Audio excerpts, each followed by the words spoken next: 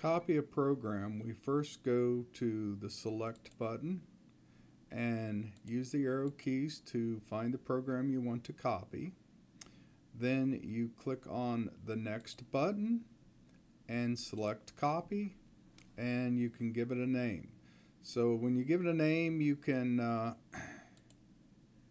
use the down arrow keys to come over here to the keyboard and then you can just type in a new name for that.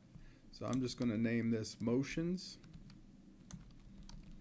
And you might as well make it all capitals because that's the way it's going to display on the screen. So I'm going to press exit here and then it says OK to copy and I'll press F4 yes and now there's a copy and I can come up here to the new copy that I just made and press enter to enter this program.